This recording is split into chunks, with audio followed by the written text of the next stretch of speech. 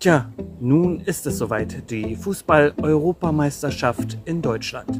Darauf ein Prost. Mm. Noch ein kleiner Tipp. Das Runde, das kommt in das Eckige.